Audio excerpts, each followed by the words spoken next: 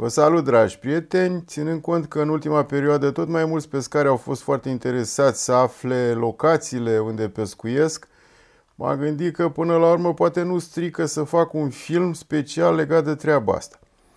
Bineînțeles, o să mă ajute Google Maps. Hai să focalizăm aici pe ce ne interesează pe noi. Astăzi o să fac uh, un film cu predilecție legat de porțile de fier 2 nu de tot județul Mehedinți, pentru că nu, nu pot să cuprinzi atâtea informații într-un filmuleț scurt. Suntem deja pe zona porțile de fier 2.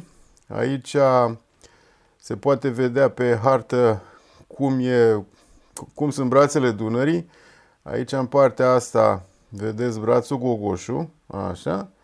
Aici este brațul principal al Dunării și centrala porțile de fier 2.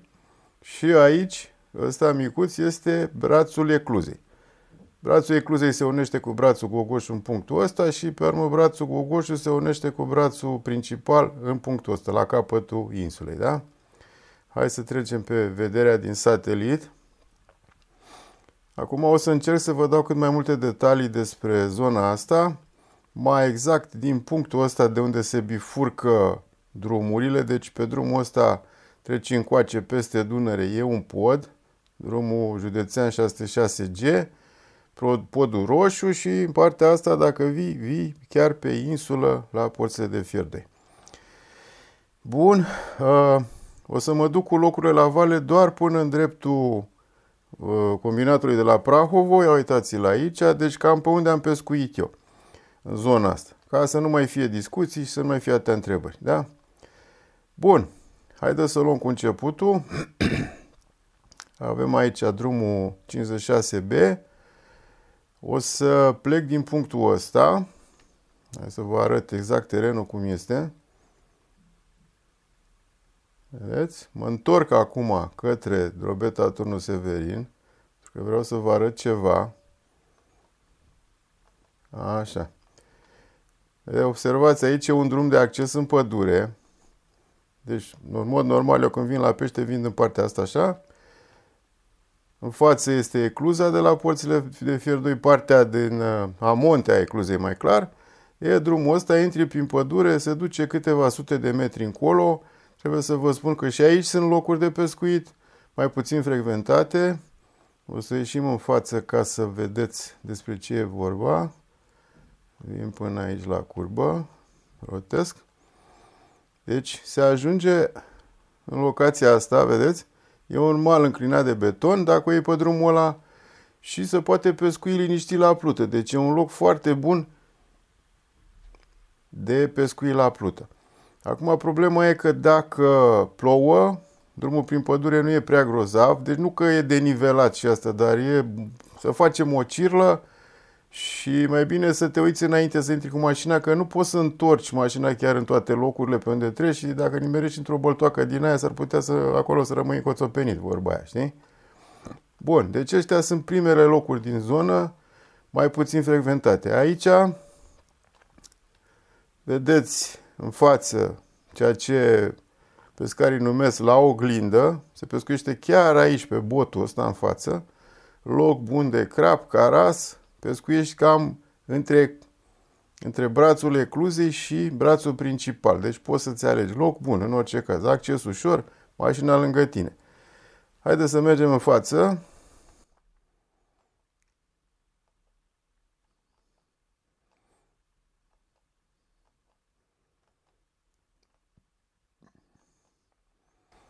Văd că înaintez destul de greu așa că o să ies din modul ăsta și o să trec pe modul aerian. Bun, deci suntem pe drumul ăsta, da? 56B și am ajuns în punctul ăsta de aici. E o bifurcație. Avem și vederi, să vă arăt ce acolo. Deci, ia uitați. Dacă faci stânga, pe drumul județean 606G ajungi la podul roșu. Dacă faci dreapta, ajungi pe insulă la porțile de fier 2. Hai să facem dreapta pentru început ca să vedeți despre ce e vorba. Nu știu dacă o să ne lase Google. Da? Ba, uite că ne lasă. Hai să trecem și podul, sau să ne urcăm pe pod mai clar. anumite chestii, știi, nu, nu te lasă să le vezi, mă rog. Bun, suntem pe pod, podul care este deasupra ecluzei, da? Uitați ce vedere avem aici de 360, așa. Aici vreau să vă arăt marginea asta de la ecluză. Aici e ecluza partea din aval, pe unde se duc vapoarele la vale, da? Vapoarele pot să și urce și să coboare prin orice ecluză, nu e nicio problemă. Dar de obicei, prin a noastră uh, urcă și pe a sârbilor coboară. Dacă una dintre ele e în reparație, atunci cealaltă e folosită în ambele sensuri. Bun. Aici pe malul ăsta se pescuiește de obicei toamna târziu, deci noiembrie, decembrie, chiar ianuarie, cine îl ține, vorba aia, cine are vână, pentru că se prinde mărunțiși la plută, dar beleaua e că se prinde doar seara, după ce se stinge, după ce se aprind luminile, pardon. În cursul zilei nu merge decât guvidul și poate să prinzi obleți, dar seara e posibil să intre plătici, morunași, cărășei, eu știu, diverse specii, dar la plută și numai seara. O să vă arăt cum se poate ajunge aici pe, pe marginea asta. Trebuie să vă spun că există trei scări de acces pe care poți coborâ foarte ușor de sus până jos. Sunt cam la 60-70 de metri una de alta. Una e aproape de pod aici unde mă aflu eu, una e pe la mijloc și una e aproape de capătul pădurii în partea Vă spun lucrul ăsta pentru că scările astea vă ajută să aveți un acces ușor. E Poți să cobori și așa pe mal, nu e nicio problemă, dar scările te ajută foarte mult și să urci și să cobori. Plus că sunt locuri bune de stat. Deci dacă nu ai un scaun cu picioare reglabile, pe scări e cea mai bună poziție pe care poți să o prinzi. Așa. Se vede deasupra că e un drum. Drumul ăla vine de undeva de lângă pod. O să vă arăt imediat și pe unde se intră acolo. Cel mai ușor ca să nu vă complicați. Deci mergem în față. Foarte bună aplicația asta de la Google. Ia uite aici. E o curbă strânsă, deci aproape ac, vârf de păr, așa cum se zice, ac de păr, nu știu, e un termen, da? Întorci brusc, mergi încet, drumul e un pic de nivelat, dar nu e nimic grav, deci nu mai cum să-ți rup mașina sau ceva și o iei pe aici, ajungi direct pe marginea ecluzei acolo, sus, da? Mergi pe partea cealaltă, ajungi acolo în capăt, la partea de sus a ecluzei, în amonte, și la locul numit la oglindă. Însă astea sunt uh, detalii, o să trec înainte acum, să ajungem chiar la centrala de la PF2, dacă ne lasă Google. Aici o benzinărie, dar nu știu dacă mai vânde benzină. Așa. O să vă arăt și celălalt drum de acces în pădure pe care îl folosesc eu de obicei când uh, uite că nu ne lasă să ne ducem, hop. Aici vedeți în stânga este un drum uh, de acces în pădure, despre care o să vorbim imediat, și care vă duce spre locul numit la piramide. Poate ați auzit, dar nu știți exact unde e. O să vă explic ce și cum. Văd că nu ne mai lasă să mergem în față, ne bagă în vamă. Aici e vama de la PF2, care nu ne interesează. Deci noi, dacă vrem să ajungem în colonie, acolo unde se vede Dunărea, unde e centrala, va trebui nu să intrăm în pădure, ci să mergem pe drumul ăsta paralel, drept în față. Nu e mult de mers, 2-300 de metri și vezi malul sârbesc. Hai să revenim la modul aerian. Ca și locație, trebuie să ajungeți aici, în punctul ăsta. Vedeți? Se face o curbă, vezi Dunărea, vezi malul sârbesc, deja vezi centrala, aici sunt turbinele, este un curent foarte puternic lângă centrală. Și vă avertizez că există o lege care nu permite pescuitul la mai puțin de 500 de metri de baraje, apete de pod, mă rog, chestii de genul ăsta. Și dacă vă apropiați prea mult de centrală aici, riscați să luați amendă, nu știu, vreo 40 de milioane sau nu știu cât e ceva de genul dacă vă ține buzunarul, n-aveți decât. Dar în același timp, pe mal undeva este o linie roșie trasă de poliția de frontieră, probabil, și de la linia aia la vale se poate pescui. Linia se află pe undeva pe în dreptul ăsta, vedeți? Care per drumul ăsta a, face o mică curbă. Cam pe acolo e limita de la care poți să pescuiești la vale. Locuri sunt multe în zona asta, se poate pescui inclusiv de aici, de unde e cursorul. Merge, merge bine Avatul, Șalău în zona asta. Uh, mai la vale se face o plajă de pietriș, așa, pietriș mărunt, unde merge la feeder să pescuiești. La fel, Avat, Șalău, Morunaș, Pf, astea, ia uite că nu vine să zic acum, Morunaș, mare în orice caz, Breană, chestii de genul, da? Toată plaja asta se poate pescui destul de bine. Ies un pic din zoom, să vă arăt așa drumul, deci pe drumul pe care ați venit pe lângă blocuri, până la centrală, mergeți, faceți așa traseul ăsta, vedeți? Hop, hop, până aici. Și aici se face un drum din ăsta de pământ. E nisipos. Chiar dacă plouă, nu se face mocirlă. Nisip cu pietriș mai mult, ca să fiu clar. Drumul ăsta vă duce în pădure până într-un anumit punct. Puteți să coborâți chiar și cu mașina jos pe plajă dacă cota apei e destul de scăzută. Dar na, poți să mergi cu ea până într-un punct. Locuri sunt și aici, destul de multe. Loc, loc, loc, loc. Așa. Și mai există câteva locuri aici. Aici e un loc foarte bun în punctul ăsta. Uite, fac aici o bulină. Așa, ați văzut? Aici. Dar beleaua e că nu prea ai acces cu mașina. Aici ori vii cu o barcă să scar de undeva echipamentul, ori mergi cu mașina cât poți prin pădure și pe urmă mergi pe jos vreo 300 de metri, ceva de genul, și ajungi aici. Pentru că am în locul ăsta acum mulți ani, când uh, nici nu era turnat asfalt pe insulă până, mă rog, nici nu aveai voie să pescuiești noaptea, pentru cei care știu despre ce vorbesc. Foarte bun locuri, însă dacă e vorba să plouă și ele, e plin, plin, plin de țânțari, te nenorocesc. Deci e groaznic, groaznic. Ce a fost anul ăsta la începutul anului era e nimic pe lângă ce, ce e acolo, în anii ploioși. Un alt loc bun este chiar în botul insulei aici, unde se unește brațul Gogoșu cu brațul principal. Este în apă, uite, și o epavă din al doilea război mondial, se vede când e cota scăzută, dar nu poți să pescuiești lângă epavă decât cu barca, de pe mal nu bați tu până acolo, n-ai cum. Bun, ă, aici în botul insulei la fel. Nu știu cum au reușit băieții să am văzut, pe de mai multe ori am văzut cu corturi puse cu astea, nu știu pe unde reușesc să vină, pe partea asta prin pădure presupun, și probabil lasă mașina pe undeva, că să, e un drum prin pădure și pe partea asta, o să vă spun imediat, o lasă pe undeva și tot așa, care cu hârca până în locul ăsta aici. Presupun. Hai să revenim la intrarea aici. Bun, uh, văzut de sus frumos. Asta e ecluza, da? Drumul de acces pe care vi l-am arătat, care vă duce pe ecluză. Aici undeva este un dâmb așa din pământ făcut. Se poate trece peste el, dar riști să lovești ceva pe sub mașină. Și dacă vreți să ajungeți în partea asta, la altă mai bine mergeți pe drumul la lateral care vi l-am arătat adineauri, înainte de intrarea în vamă, da? Faceți pe aici, strada Paradisului, l-au botezat. Cine l-au botezat, i-au dat un nume tare haios. Din păcate, nu am uh, o filmare să vă arăt exact ce e aici. E o bifurcație. Dacă te duci în stânga, sunt loc, loc, loc, loc, sunt vreo 3-4 locuri bunicele.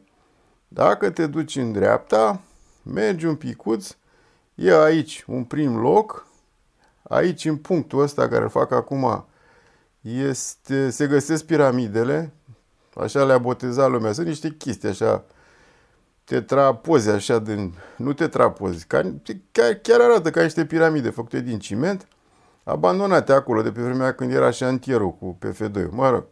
Deci aici sunt piramidele în acest loc, poți te vii frumos cu rulota, ai umbră, e spațiu mare, deci e, e loc ca lumea, intră mulți pescari. Sau, dacă nu-ți convine, poți să mergi înainte. Drumul e pietriș cu nisip până la bifurcația asta laterală, vedeți? Pe aici, dacă mergi, ești direct pe plajă și în cazul că apa e scăzută, poți să continui cu mașina pe plajă încoace. Dacă nu vrei să te duci pe plajă, poți să mergi înainte și, înainte și intri în pădure, însă în pădure la fel. Drumul este relativ ușor, dar mocirlos dacă plouă și sunt niște bălți tare adânci pe acolo. Nu vreți să intrați pe ele dacă, dacă sunt pline cu apă, că e posibil să nu mai ieșiți decât dacă aveți o mașină din asta 4x4. În orice caz, se lungește drumul destul de mult și mai are câteva ieșituri așa încoace, una, două, trei, cam pe aici e ultimul, sau pe aici e ultimul loc pe care poți ajunge pe drumul din pădure. Na, și cu asta am cam epuizat locurile de pe insulă. O să ne întoarcem în punctul ăsta de bifurcație aici și să trecem pe malul cu balta verde, da?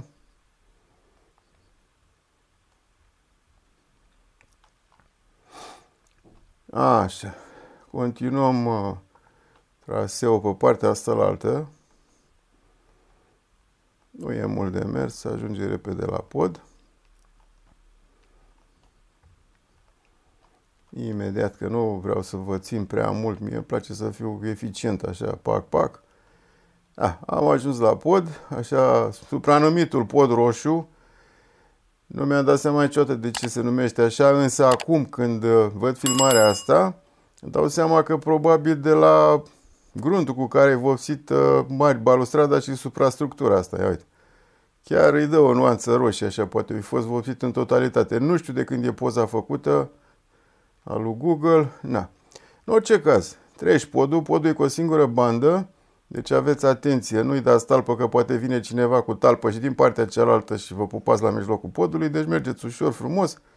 E vizibilitate, deci dacă vine cineva îl vezi sau invers, te vede, na, ca să nu fii nevoie să dai cu spatele. Pe noi ne interesează drumul ăsta lateral, ăsta de aici, îl vedeți? Nu pot să mă duc încolo, dar vă zic că drumul județean 606G vine din partea asta de la Balta Verde, ăsta cu motocicleta vine din direcția aia, eu vin de pe pod, da?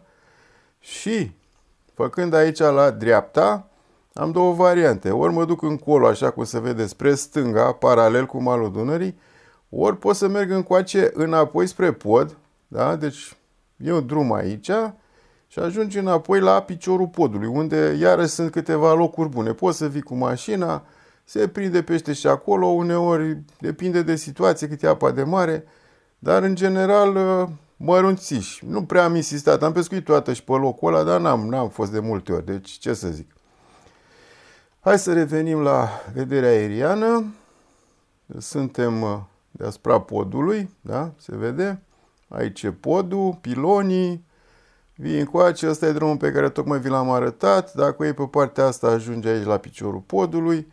Dar pe noi ne interesează partea cealaltă în care o iei pe drumul ăsta tot înainte. Vedeți că sunt multe ramificații, dar țineți drumul care e mai principal așa. Ideea să mergeți înainte, da? Treceți de stâlpii de înaltă tensiune, uite că se văd aici.